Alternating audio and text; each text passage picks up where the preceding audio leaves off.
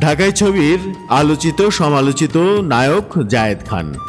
নায়ক হিসেবে যতটা না আলোচিত, তার চাইতে বেশি সমালোচিত চলচ্চিত্র শিল্পী সমিতির সাধারণ সম্পাদক হিসেবে। গত আঠাশে জানুয়ারি চলচ্চিত্র শিল্পী সমিতির নির্বাচনের পর থেকে দেশে, বিদেশে বাংলা ভাষাভাষীদের কাছে প্রায় জায়েদ খানের নামটি একটা ভিলেন চরিত্র হিসেবেই উপস্থাপিত হয়েছে, মেসেজ গেছে তার কাছে। ট্রল, সমালোচনা, সামাজিক যোগাযোগ মাধ্যমে ছয় লাভ হয়ে গিয়েছে তাকে নিয়ে।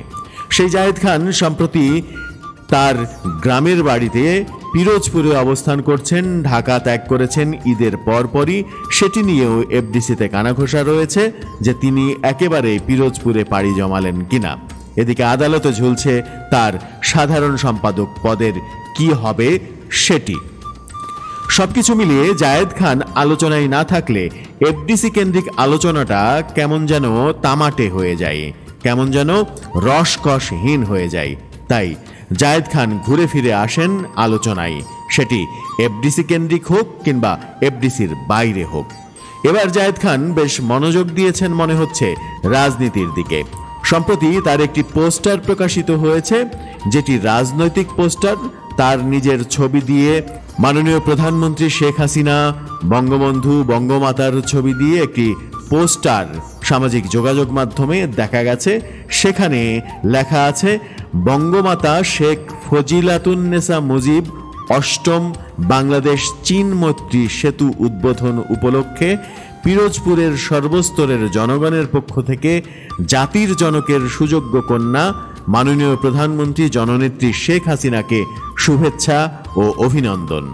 নিচে লেখা রয়েছে, চিত্রনায়ক জায়েদ খান, সদস্য, সংস্কৃতি বিষয়ক উপকমিটি, বাংলাদেশ আওয়ামী লীগ।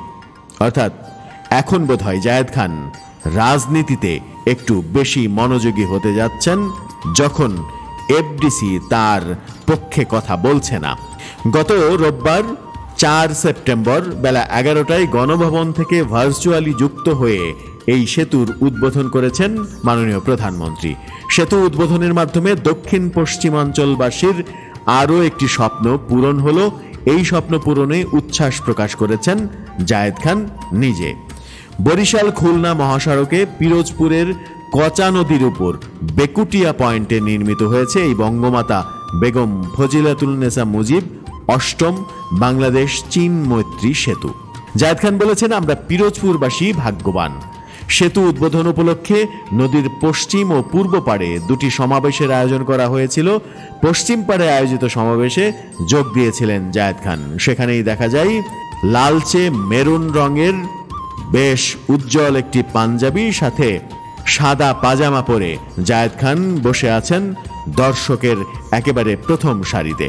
জায়েদ খান নিজেকে রাজনীতির মানুষ হিসেবে পরিচয় দিয়েছেন, আনুষ্ঠানিকভাবে পোস্টার বানিয়েছেন, সেটি সামাজিক যোগাযোগ মাধ্যমে ছেড়েছেন এবং মনে হচ্ছে রাজনীতিতেই তিনি সরব হতে যাচ্ছেন এবার। আর ওদিকে আদালতে ঝুলছে তার এফডিসির শিল্পী সমিতির সাধারণ সম্পাদক পদটি। এখন আদালতে যখন মামলা ঝুলেছে, তখন সেই ঝুলন্ত জায়েদ খান এবার রাজনীতির মাঠে নিজেকে নিয়ে বোধহয় রাজনীতির খেলা শুরু করছেন এবং সেখানে নিশ্চয়ই সফল হবেন তিনি, সেরকম প্রত্যাশা আমরা করতেই পারি।